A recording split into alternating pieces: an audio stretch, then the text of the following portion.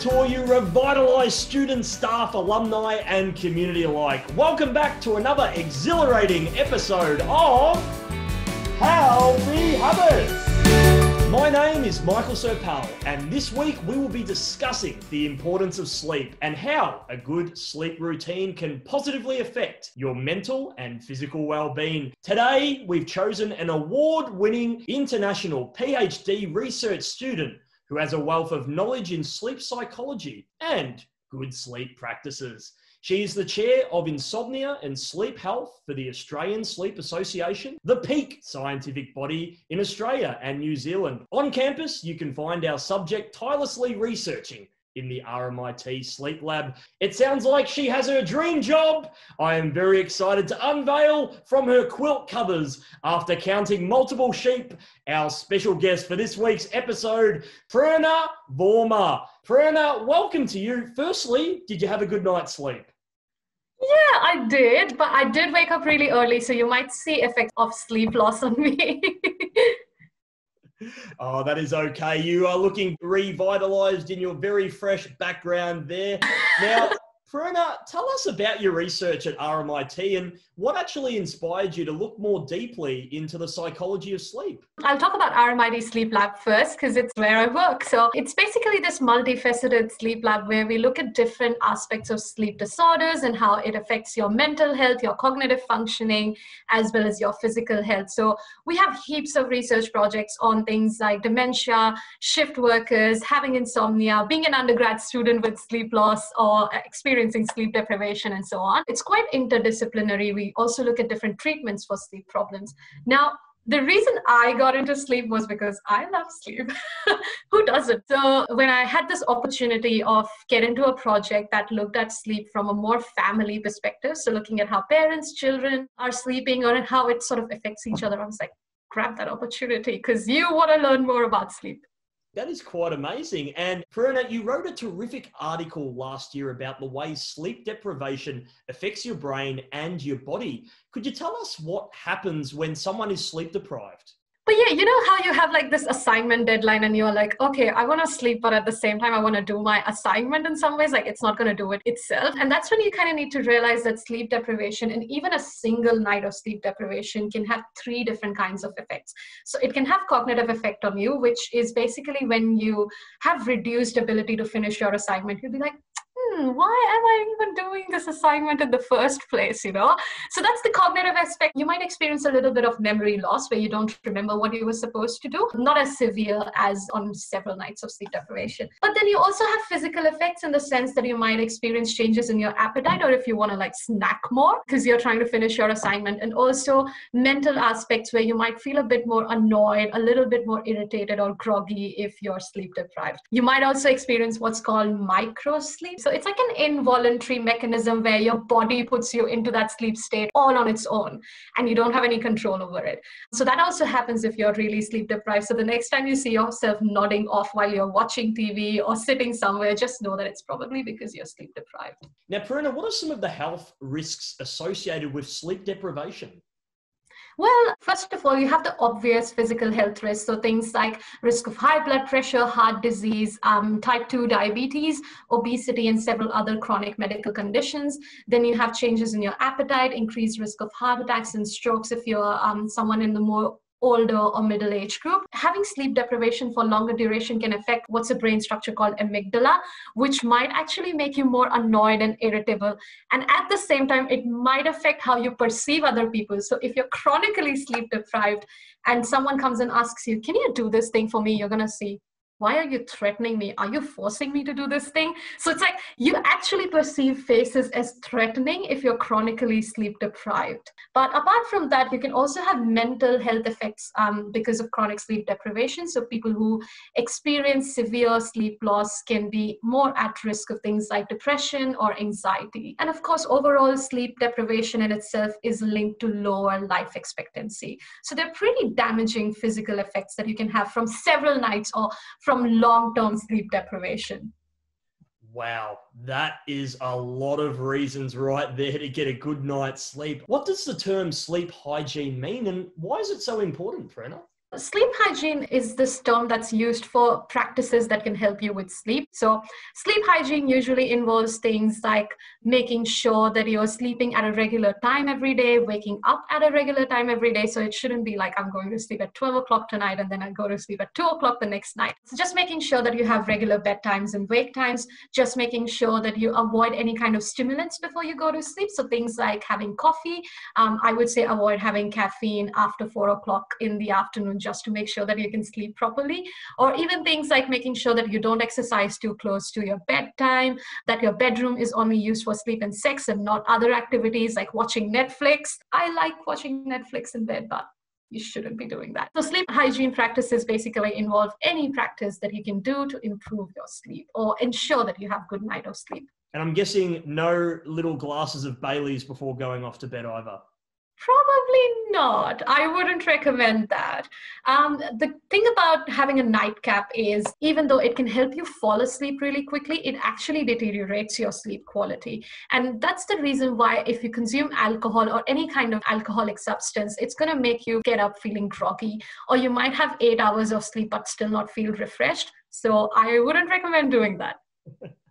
With sleeping pills, does the person need to see a health professional before getting sleep pills, or do you recommend other methods rather than going straight to that certain option? If what you're experiencing is insomnia, which is either difficulty falling asleep, early morning awakening, or midnight awakening, and so on, I wouldn't recommend sleeping pills in the first case. So, the first line of action would be a therapy called cognitive behavior therapy for insomnia, which is like this really interesting therapy that has been seen to help with insomnia or sleeplessness. But if you do have any other sleep disturbances, always consult a healthcare practitioner first. Ask your GP what kind of medications you can take and especially how long you can take them because not all of them are safe for long term. Brilliant. Are there any resources for people who are struggling with insomnia at RMIT? Yeah, so currently there is a Sleep Health Foundation, which is basically this Australia based foundation, which gives a lot of resources around different kinds of sleep conditions, what you can do, what kind of resources you can try. So I would recommend going on their website, sleephealthfoundation.org.au. Well, that is fantastic to hear that sleep hygiene can help people get a good night's sleep. Now, what are some ways that students can help improve their sleep and how do you practice good sleep hygiene? One of which I found really useful is having a wind down time. It involves not using your phone or watching TV at least half an hour before going to bed. Just looking at your phone and that scrolling is just going to keep your mind really alert. I would say avoid using your phones and have that wind down time. Optimize your bedroom. Just make sure that it's nice and cool because your temperature increases slightly when you go to sleep. And the other thing that I would recommend is getting a good amount of sunlight in the morning. So, like sitting by the window might be a good option. Going out for walks when it's quite sunny outside is a good option to improve your sleep. Yeah. One of the big questions for all the students out there, and I'm very curious about this one as well, is how much sleep should students be aiming to get a night? And what is your advice to those students doing all nighters to finish their assignments? Yeah, well, firstly, don't take all nighters to finish your assignment. Now you know that pulling an all nighter means that you can't really concentrate on your actual assignment. You can't really stay alert. So it's not going to help you to actually submit it. In general, you need about seven to nine hours of sleep every night. Some people very rarely need more or a little bit less, but seven to nine is a good average to take. My other suggestions would be to sort of have a schedule in terms of like what you're going to do each week or having a Word document where you keep on jotting down your points with the assignment so that you can do it quickly rather than pulling an all nighter. And of course, look after your body because if you're not going to sleep, you're not really going to do well on your assignment. So, yeah, don't pull an all nighter. For all those elite athletes, professional sport players, or exercise enthusiasts out there, does the amount of movement throughout the day dictate the amount of sleep you get? And is there a recommended sleep time for these certain situations? So, one of the best ways to improve your sleep is actually to get some exercise, except that the exercise should not be too close to your bedtime because what's that going to do is it's going to tire you, but it's not going to make you feel sleepy because you have that adrenaline rush after exercise and you feel more awake. So, have exercise probably in the morning, early evening, not too close to the bedtime. A good thing to look forward to here is understanding how your body clock works. So, your body clock is basically a circadian rhythm which works on the light and dark cycle. So when you get up in the morning, it's like, okay, I have to stay awake. And when you go to the night, it's like, okay, I have to sleep. Some people are more morning people. That is when they feel more awake and more alert. And that's when they should be exercising for optimal sleep. But if you're more of an evening person who's like, I feel more energetic at like eight o'clock in the night, you should be exercising early evening to actually promote your sleep. So work around your body clock. Don't overtrain, but definitely get some exercise. Finally, Prerna, today I am happy to announce we have a brand new segment for this week's episode called Snooze Busters. I love it. Hell yeah. I ain't afraid of no sleep. Okay, anyway. Our first question for Snooze Busters today, Prerna, is counting sheep is an effective method for falling asleep. Not really. It can help some people to calm down, but it doesn't really help you with sleep. If it did, we wouldn't be here. That's very true. Is it healthy to nap during the day? Yes and no. So there's been a lot of studies around some cultures where people actually go and take naps and then fall asleep pretty quickly. So my general recommendation is if you have to take naps, take them early in the afternoon for no more than 30 minutes. And if you see that it's impairing your sleep quality or if it's stopping you from falling asleep at night, I would recommend not taking naps. Now, for all of our Mediterranean viewers out there, siestas and weddings, where you go to a wedding, you eat a lot of food, you go to sleep, and then you come back for the next course. Is that a healthy way of getting in some naps? I don't really know what to say. That's a really fun one. The idea of like eating and going to sleep, but probably not the healthiest option. Make sure that there's a little bit of gap between when you eat and when you sleep. That's actually going to improve your sleep quality again. Otherwise, if you're too full, it might impair your sleep quality and you won't feel as rested if you want all of that energy for the dance floor later at the reception at the wedding, make sure you leave that gap in between eating and sleeping. You heard it first here on Healthy Habits. Turning up the radio, opening the windows, keeping your eyes open with matches, burning yourself with a cigarette lighter is an effective and pain free way to stay awake when driving. Hmm. I would say if you have to do any of these, you should probably stop your car and not drive.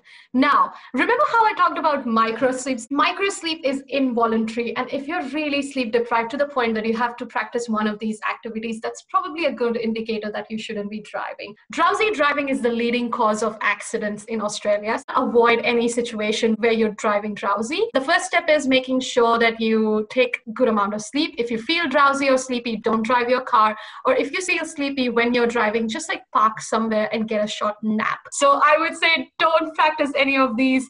Get a good night of sleep or get a nap in between if you feel drowsy and you still have to drive.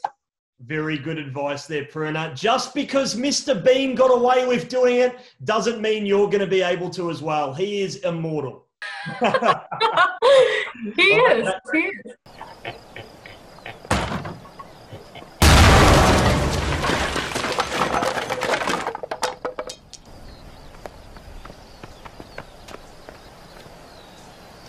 Now, is it important to decipher and record our dreams? Now, I have a dream diary here. I probably haven't filled it in as much as I should, but is it important to do something like this? Well, I mean, I record my dreams when they're food related so that I can say something along the lines of, I had a dream, that's an indication that I need to eat that food. But in general, it's not important to record or decipher your dreams. But if this is something that you really enjoy doing and you like the idea of journaling, this might be a good activity to do. Now, your dreams usually happen in what's called REM state of sleep, which is where your body is nice and relaxed, but your brain is actively working. Your neurons are firing and they're trying to create a narrative of the day you've had. So you don't necessarily need to decipher it. It can be a good activity to do and to know what kind of dreams you're getting. And for all those screenplay writers out there as well, if you have an incredible dream, you might be able to turn it into a movie one day. That's true. I know that you're talking about Inception, and who knows, you might get Leonardo DiCaprio in your dreams. Wouldn't that be nice?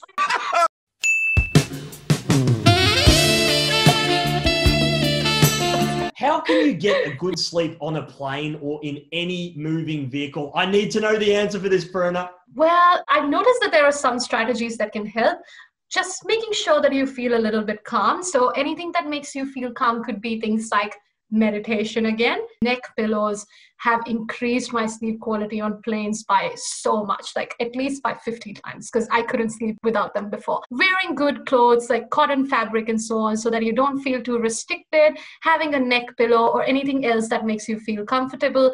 And at the same time, just stop putting effort into it. Like, just stop the expectation that you're going to sleep okay on a plane. Because what happens usually is when you expect too much, you put more effort into sleep, and sleep just eludes you in some ways.